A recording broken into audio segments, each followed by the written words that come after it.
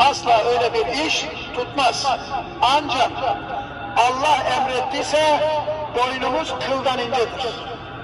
Allah emretmediyse de bir anne, bir baba cani olamaz dedi ve şeytanı kendinden uzaklaştırdı. Daha sonra da rivayete göre İsmail Aleyhisselam'ın yanına geldi. Ey İsmail, baban seni kesmeye götürüyor. Hayır dedi, benim babam öyle bir iş yapmaz. Ve rivayete göre şeytanı ilk taşlayan İsmail Aleyhisselam'dır. Tabi hac farz olunca allah Teala Peygamberimize de şeytan taşlamanın İsmail Aleyhisselam'dan gelen bir adet olarak Safa Merve arasında gidip gelmenin Hacer validemizden bir adet olarak haccın içine yerleştirildi. Şimdi burada büyük cemre var. Bu büyük şeytan, bak bir ileride orta şeytan, bir daha ileride görüyorsun hafif ortaya düşüyor küçük şeytan. Kurban bayramı sabahı yani Arafat'tan inen hacılar Kurban bayramı sabahı bu bölgeye geldikleri zaman Müzdelife'den topladıkları 70 taşla tekbirlerle, lebbeyiklerle buraya gelirler. Herkes filamasını, bayrağını çeker. Böyle hızlı bir şekilde gelirler. İlk gün küçük şeytan ve orta şeytan atlanır. Bu büyük şeytana gelmiş. Bu büyük şeytan taşlanır. Yedi taş bu şekilde atılır. Az sonra göstereceğiz. İkinci bayram gün öğle namazından sonra Kabe tarafından gelinir. Otellerde kalanlar, burada Mina çadırlarında kalanlar da Mina çadırlarından gelirler.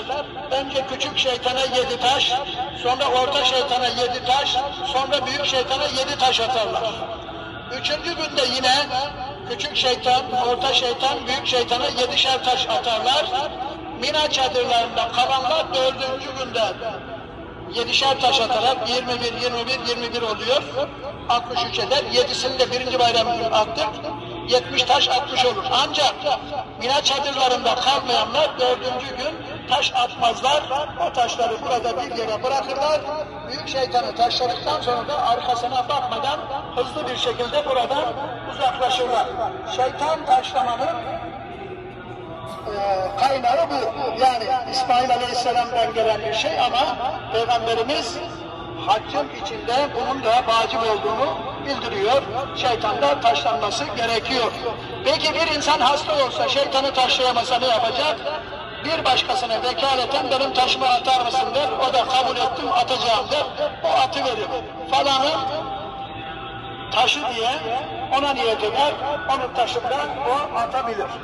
Şu anda bulunduğumuz yer cemerattır. Ayakta sizi tutmak istemiyorum.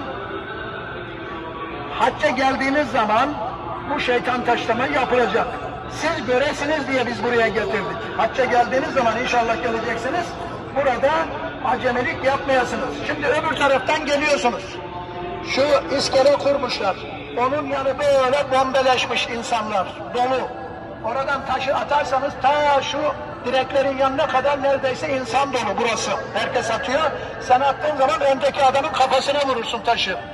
Biz öyle yapmıyoruz. Geliyoruz, geliyoruz. Tam şu köşeye geliyoruz.